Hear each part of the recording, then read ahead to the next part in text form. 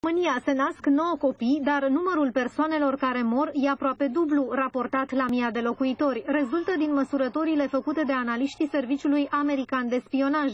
Datele arată că țara noastră a urcat pe locul 2 mondial la rata mortalității, care este de 15 decese la mii de locuitori. România este depășită doar de Serbia, care înregistrează o rata mortalității de 16 decese la mii de locuitori.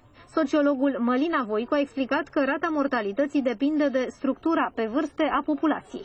Noi avem o populație îmbătrânită, o populație care a îmbătrânit masiv în ultimii 20 de ani. Ieșirile din populație, mortalitatea este mai mare acolo unde vârsta, populația vârstnică este mai numeroasă.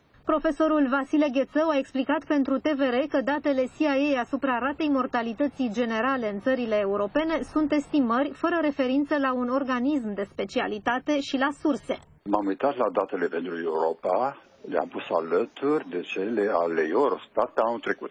Sunt diferențe și într-un sens și în altul, unele inacceptabile și inexplicabile. Anul 2021 a fost un an cu supramortalitate importantă în populațiile europene datorită pandemiei. În general, după un an cu mortalitate ridicată prin pandemie, în anul următor, mortalitatea se află în recul. Eu personal cred că mortalitatea generală va fi în anul 2022 în România, în jur de 13,5 decese la 1000 de locuitori. Un alt motiv pentru scăderea populației sunt nașterile puține. Potrivit informațiilor livrate de analiștii CIA, România se află spre finalul clasamentului care măsoară natalitatea la nivel planetar, cu 9 nașteri la mii de locuitori. Populația feminină din România este în scădere. Ca să repopulăm țara, ar trebui ca decenii întregi de acum înainte fiecare româncă să nască doi copii. O situație la fel de catastrofală se înregistrează și la capitolul migrație.